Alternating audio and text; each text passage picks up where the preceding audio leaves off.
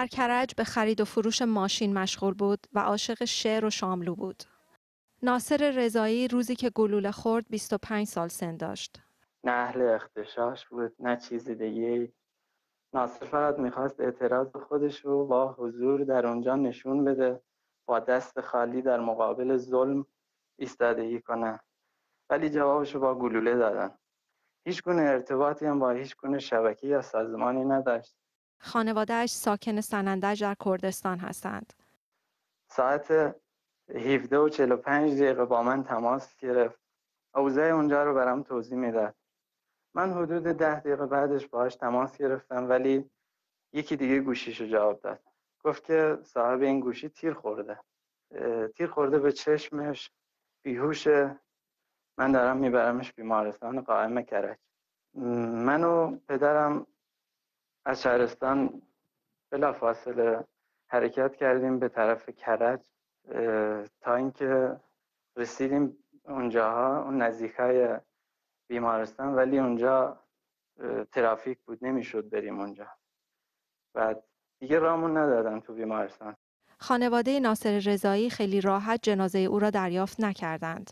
برداشت ساعت 6 صبح رفتیم که پیکرش رو تحویل بگیریم. که ندادن. گفتن خود پرسنل بیمارستان بهمون گفتن ناس... پیکر ناصر رو فرستادیم بهشت سکینه. ما اونجا با کلی کاغذبازی و تلفن و اینجور چیزا تونستیم ساعت چهار ظهر با گرفتن تعهد پیکر رو تحویل بگیریم. با شرایطی که باید بدون تشییع جنازه ناصر رو خاک کنیم.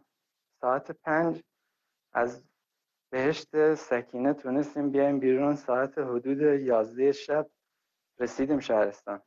یه راست آمبولانس رو بردیم قبرستان بدون اینکه بخوایم مثلا جلو در ببریم یا اینکه بخوایم مراسمی بگیریم یه راست رفتیم قبرستان همونجا خاک کردیم. پیکرش مزار ناصر رضایی از روز بعد توانستند مراسم کوچکی به یاد او برگزار کنند.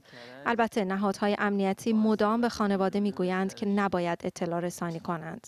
تازه بهمون می‌گفتن که مثلا پیگیر بشید شکایت بکنید که شهید اعلامش کنیم دیه بهتون بدیم.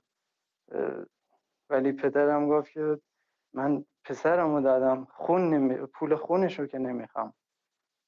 اون کسی رو پیدا کنید که به پسرم شلیک کرده منصور رضایی از نگرانی هایش برای پدر و مادرش می‌گوید. پدرم هر روز ساعت 6 صبح باید بره سر خاک ناصر. کلا اوضاع رویش خیلی خرابه. مادرم کلا تو خونه است. هیچی نمی‌تونه بخوره. هیچ کدومشون هیچ حالت روحی درست حسابی ندارن.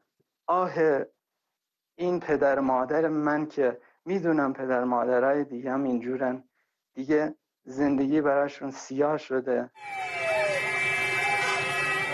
در روزهای اعتراض در آبان ماه تعداد زیادی در کرج کشته شدند. بی بی سی با خانواده های پویا بختیاری، امیر حسین کبیری و ناصر رضایی گفتگو کرده. چه فرق می کرد زندانی در چشم انداز باشد یا دانشگاهی اگر که رؤیا تنها احتلامی بود بازیگوشانه. تشنج پوستم را که می شنوم سوزن سوزن که می شود کف پا علامت این است که چیزی خراب می شود مریم افشنگ بی بی سی.